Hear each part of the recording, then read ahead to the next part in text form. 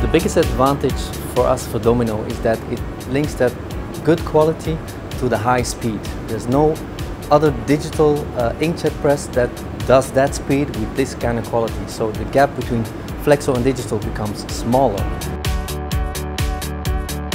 I'm George, I've been working for Reinders for 18 years and I have experience running uh, different presses and now I'm on the Domino N600i. I can print 1000 meters in 20 minutes without stop for any fairing nozzle. It's a reliable machine with a high quality printing.